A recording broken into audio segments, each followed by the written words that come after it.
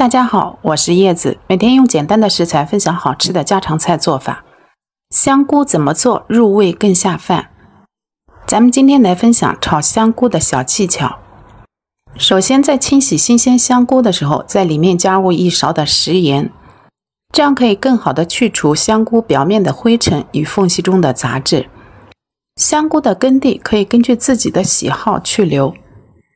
把它先在水中浸泡两分钟，然后用流动的水给它多冲洗几遍，这样能够更好的去除香菇缝隙中的杂质。接下来在锅中加入适量的清水烧开，水开后把洗净的香菇倒入锅中进行焯水。焯水可以让香菇做出来以后没有异味，口感更香。焯水的过程中加入少许的盐，增加底味。把香菇在锅中大约煮至两分钟，煮至到轻轻按压，可以明显感觉到香菇的表面略微有一些柔软的状态。这个时候再把它捞出来，控干水分备用。接下来把焯好水的香菇略微放凉一下，然后再把它改刀切成薄厚均匀的香菇片儿。香菇片儿不用太薄，大约一个硬币厚度就可以，这样可以让它的口感更加的有嚼劲。切好后，先装入盘中备用。接下来准备适量洗净的青尖椒，直接斜切成小块儿。如果不吃辣椒，也可以换成蒜苗或者是其他的食材。切好后，先装入盘中备用。准备适量的小米辣椒，搭配一下颜色。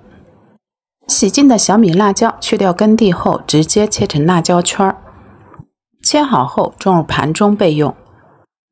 准备适量的大蒜，直接切成蒜片儿。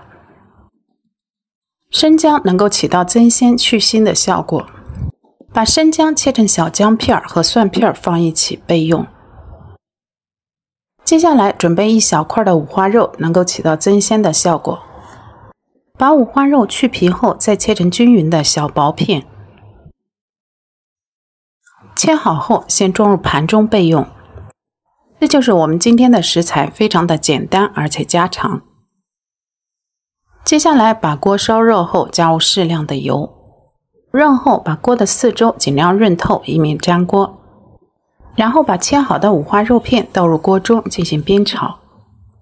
在炒制五花肉片的过程中，稍微多煸炒一下，充分的煸出肉片中多余的油脂，这样做出来可以让它的口感更香。